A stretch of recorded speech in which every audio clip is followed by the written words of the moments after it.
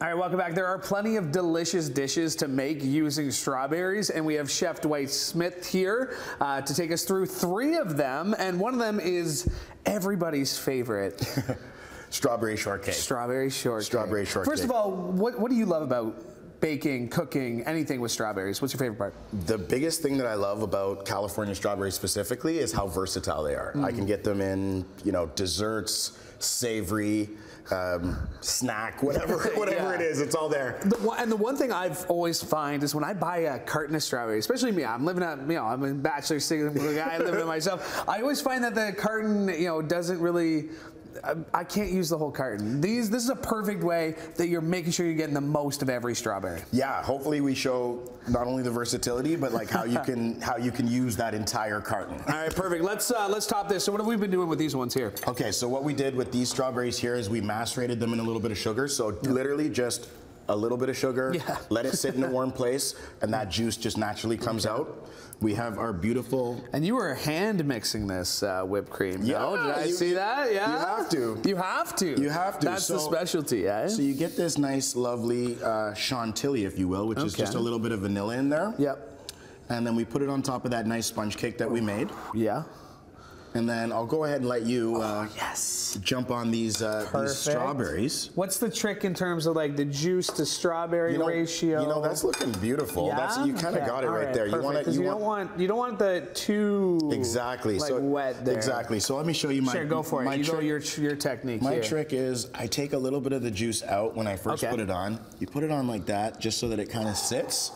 And then you take all that nice little juice that came out. Yeah. Oh. And you just drizzle it right. All right, you cannot go wrong uh, with that. But what else do we got here? So what are we working with over here? So over here we've got a, uh, a, a, beautiful ricotta toast. So mm. we've got those same California strawberries right on top. Uh, underneath that we've got a little bit of whipped ricotta. Okay. Okay, so what I did was uh, a little bit of lemon zest, um, a touch of sugar, um, and some honey. Okay. Sorry, not sugar, just a little bit of just honey. Just a little bit of honey, that's all um, you need, eh? And then we spread that on top of a, of a crispy brioche. Yeah. Um, and then we top it with almonds, uh, some basil, yeah. And that's what we're missing here, right? Just a little bit of a. And, little, and mint goes on top of these strawberry shortcakes. Exactly. Right exactly. there, right there. Exactly. Um, and another thing you don't always think of, but it's always a great addition to salads. So what do we got over here? This is really the star of the show right here. so this is this tell. is the this is the savory application.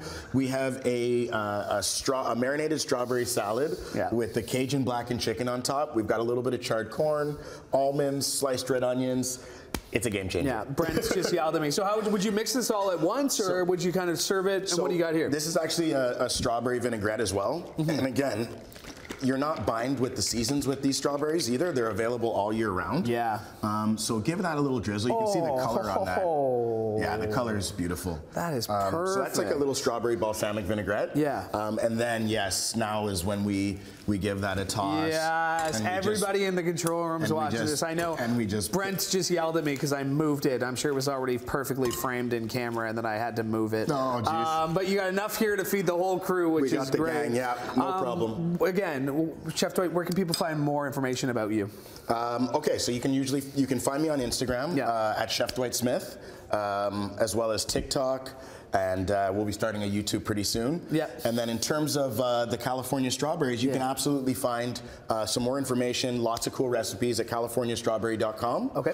Um, and they're available in pretty much every grocery store across the country. Yeah. So year round too, and they're always fresh. They're that's, always delicious. That's the that's the reason why these are so much fun. All right. Okay. Well, I'm gonna dive in here, right? um, I'm gonna maybe add a little bit more strawberries yeah, here. I'm gonna, I'm gonna make you, a special one. Okay, that's what special we'll do. one that's here. what we'll do. We'll, we'll make right. you a special one. So we are celebrating strawberries uh, with Chef Dwight Smith. Uh, Chef, thanks so much for joining us today. Thank really you for having me. All right, here we go. Big bite.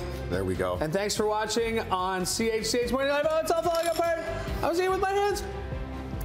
Oh, so good. So good, my guy. Thank you.